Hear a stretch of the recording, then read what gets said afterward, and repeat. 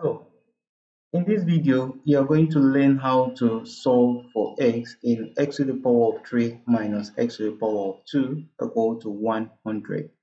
We are asked to find the value of x and this is an Olympiad exam question. Now let's solve. As we solve this question, you are going to see how we're going to apply some algebraic formulas to get our solution right.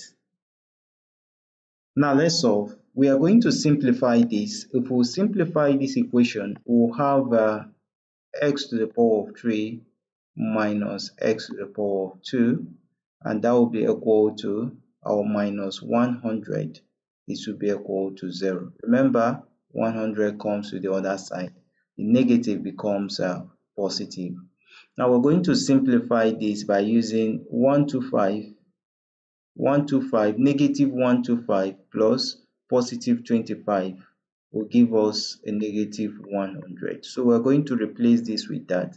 So we'll have our x to the power of 3 minus x to the power of 2 minus 125 plus 25 and this will be equal to 0 so we'll have this. We will now have our x to the power of 3 we separate them 1 to 5 right minus x square plus 25 this will be equal to 0 remember 125 is 5 to the power of 3 so we'll have our x to the power of 3 minus 5 to the power of 3 minus x to the power of 2 plus this is 5 to the power of 2 right? And this will be equal to 0 now let's recall that we have some algebraic formulas that are very, very important and we are going to make good use of those algebraic formula. In algebra, we'll have a to the power of 3 minus b to the power of 3. This can be equal to a minus b, right? And this will give us the first value, a square, plus the first minus the second value, plus the second value square. Now if we have uh, a square minus b square, this will be equal to a minus b, right? And this will be equal to a plus b. So we are going to apply these to our algebraic formulas in simplifying this and this. Now let's let's do that right away. To simplify that, we are going to uh, take for a to the power of 3, uh, a is equal to x and our b is equal to 5. So we'll have uh, x minus 5, right? That's the first value, minus the x square plus 5 times x, which is 5x, plus 5 what? 5 square. So this will be minus, we'll just simplify this. That will give us x square minus what? 5 square. If you simplify this, you're going to get this value. So this will be equal to 0. So let's uh, simplify this further. If we simplify this, we'll have uh, x minus 5 x square plus 5x plus 25 and this will give us negative 1 bracket. Remember the algebraic formula we talked about? This will be into bracket x plus 5 and this will be what? X minus 5 and this will be equal to 0 now we have one common term, x minus 5 and x minus 5. We'll bring them out, they are common. So we'll have our x minus 5 as a common term.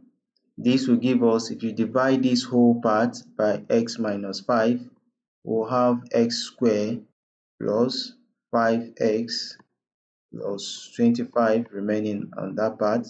And if we divide this whole part by x minus 5, we are going to have minus If we simplify that, we're going to have minus x minus 5 remaining over there and this will be equal to 0 right?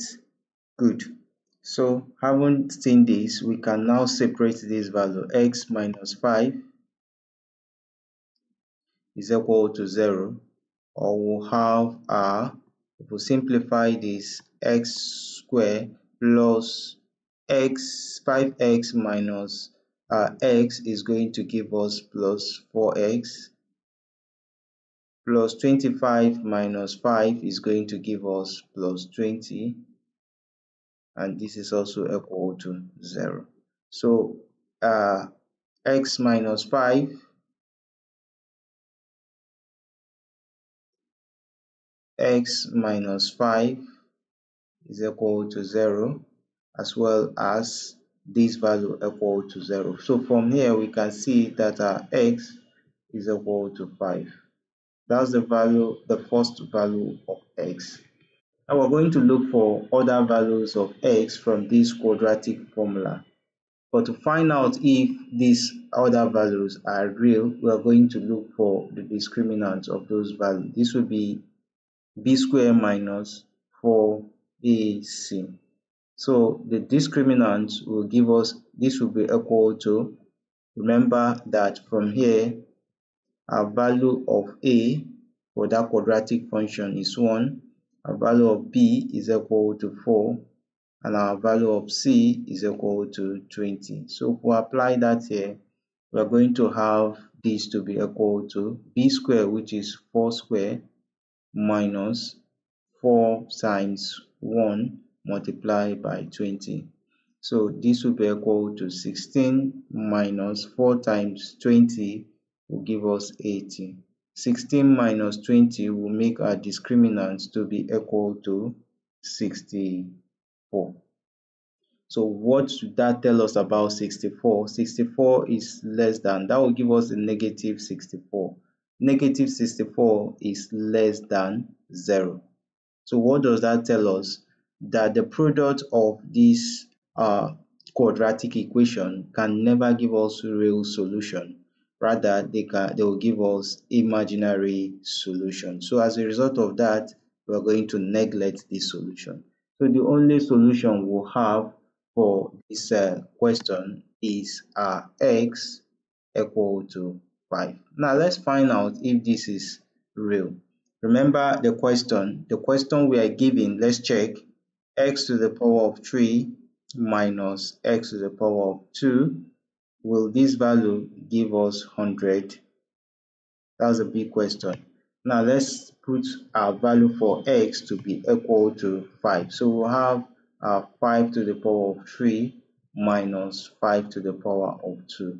What is 5 to the power of 3 is 125 minus 5 to the power of 2 is 25. So if we subtract them, we'll get what? 100. So we see this value gives us 100. So that tells us that x equal to 5 is the solution that satisfies the uh, exponential equation that we are given above. So you see, this question looks very easy initially, but we've shown you how to solve this question comfortably to arrive at a very reasonable solution.